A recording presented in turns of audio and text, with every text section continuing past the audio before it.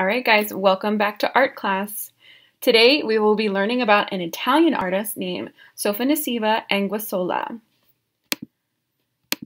She lived from 1532 to 1625 and was born in Italy but spent much of her career in Spain. So here's a map of Europe. Italy is in green here. That's where Sof Sofonisba was born. And um, this is Spain in orange, and that is where she spent most of her career. Sofonisba Anguissola was born into an aristocratic family and received a very good education. Her extraordinary artistic talent gave her the opportunity to succeed in a male dominated profession.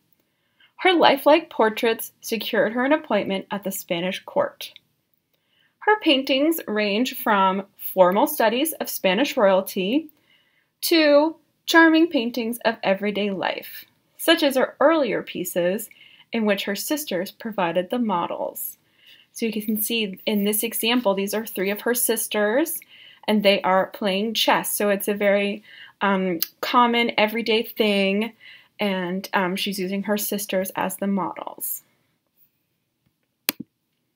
Sofonisba established a new style of portraiture with subjects set in informal ways, such as playing chess or holding animals.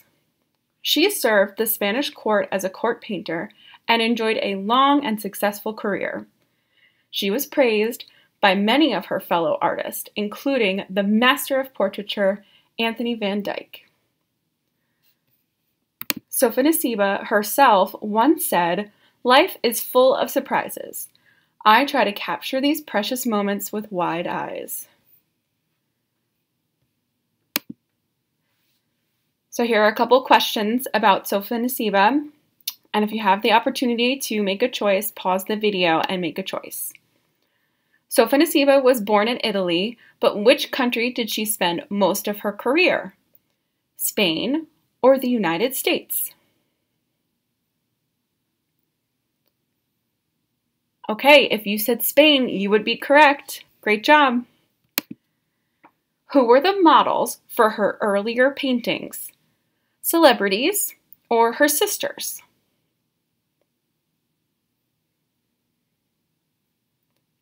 All right, if you said her sisters, great job. So now, let's view a demo on how to create art like Sofonisba Anguissola. Here is your instruction page with the materials and instructions. Come back to this part of the video after you see the demo so you can uh, review what's needed and if you need a refresher on how to complete the project. Now that you've learned all about Sofonisba Anguissola, you are going to do a project based on her artwork. So this is a coloring page based off of one of her self-portraits that she did. And what you're going to do is you're going to color this in using crayons, markers, or colored pencils. I'm going to use uh, colored pencils today. And then you're going to choose an object from a magazine. So you're going to flip through a couple magazines that you have and find something that you want to cut out and you're going to put it in Sofonisba's hand. So here she's holding a book. All right, so you're going to cut out an object to put that in her hand. And remember the quote from Sofonisba was, life is full of surprises. I try to capture these precious moments with wide eyes. So you can put something kind of surprising in her hand um, if you want to. And um, you'll have to just cut it out and glue it on there, um, you know, using a glue stick. All right, so that's the project. So I'm gonna go ahead and complete that now so you can see what it's gonna look like when it's all done.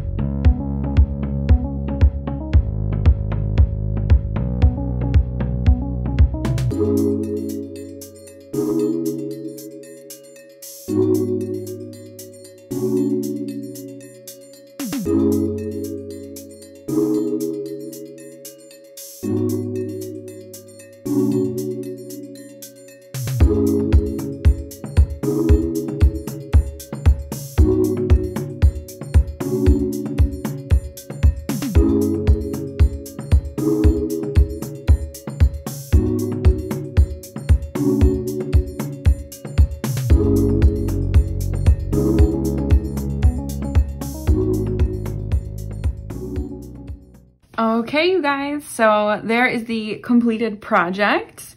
Um, you can see I colored in the self-portrait of Sofonisba, and then I looked through my magazine and I found this picture of this cool looking fish, this colorful fish, and I decided that would be pretty surprising if Sofonisba was just in a portrait holding a fish. Um, so it can be kind of silly too. That's okay. Um, so great job, you guys. I really hope you like liked doing this project and I'll see you next time.